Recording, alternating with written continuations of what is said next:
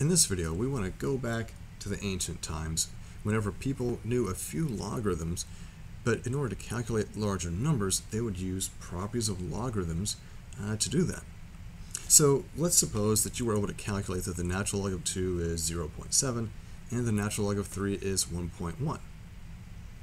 Well, if you know those guys, and really any prime number, you would have had a table in some textbook or manuscript that would have said what certain logarithms of those values are. And you can just kind of crank out the rest of it by hand. So if you're given this, and you were told to find the natural log of 48. Let's see what can we do. Well, if you think back to those properties of logarithms, if you have a product or you have a quotient or you got powers, you can expand that. And that's what we want to do here. Because see, 48 is made up entirely of factors of 2 and factors of 3. I just have to rewrite it. So maybe off to the side, we think about what 48 is. So if you do a factor tree for 48, we've got 2 times 24.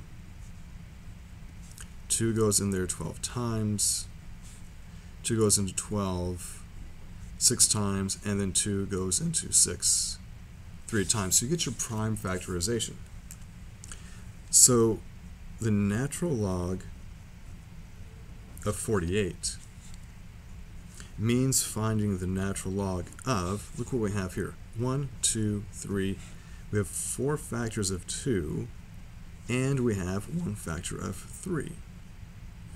So we break this down in terms of its prime factors, and then we can use those properties of logarithms. So the properties of logarithms would say this now becomes the natural log of 2 to the fourth plus the natural log of 3. And another property of logarithm says that you can take this power and write it out front to say 4 times the natural log of 2 plus the natural log of 3. So without knowing the natural log of 48, but knowing these two natural logs, we can come up with the value for the natural log of 48. So this is 4 times, this is where you make your substitution. The natural log of 2 is 0.7, and the natural log of 3 is just 1.1. And this is stuff that we can easily do by hand. So this is 2.8, and the natural log of 3 is 1.1. So that tells us that the natural log of 48 is 3.9. Now, it's really tough for me to say that natural log of 2 equals this because it's it's really not. I just rounded to the nearest tenth so we could do a nice simple exercise. If we go to our calculators, you're going to see that there are two logarithm buttons. You've got log and you have natural log. Okay, so we kind of talked about what log and natural log are.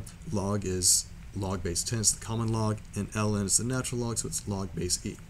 But this says natural log of 48, so let's see what it says if I type that in. If I do natural log of 48, am I somewhat close to 3.9? 3.87, so my estimate is, is pretty close. It's not 100% accurate because it's not going to be, because these excuse me these natural logs more than likely we'll end up with irrational numbers. so this is not a nice pretty number, it's not a fraction, but it's just an approximation. Okay. Let's try it with a different example. So that was the natural log of 48. Now let's try to find the natural log of 27 over 2. Well, with 27 over 2, we have a fraction, so we know this at the very least. Using properties of logarithms, we can say this is the natural log of 27 minus the natural log of 2. Now, in order for us to use the given information at the top of this page, we have to be able to completely rewrite everything in terms of factors of 2 and 3.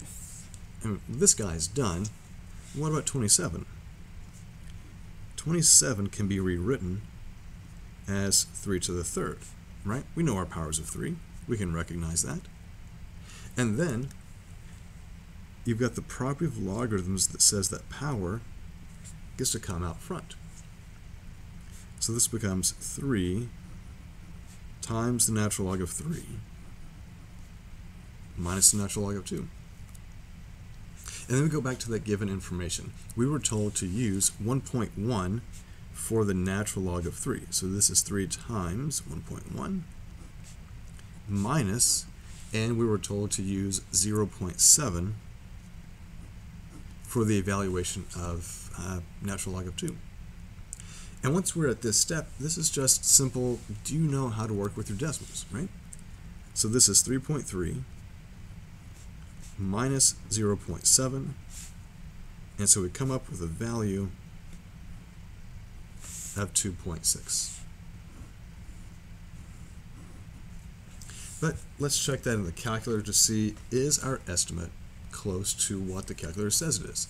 Now the calculator can never give you an exact value because natural log of 27 over 2 is never going to be exact. So let's see, natural log of 27 divided by 2, 2.60 and some other stuff. So yeah, our approximation is really close. Now when you do these examples in MyMathLab, a lot of times the approximations they give you go out to four decimal places, not just one. So if you think you're just going to throw it into the calculator and be okay, it's going to be off by just enough that when you type it into MyMathLab, it's going to tell you that you're wrong. So you really need to go through it just like we're doing here, step by step, piece by piece.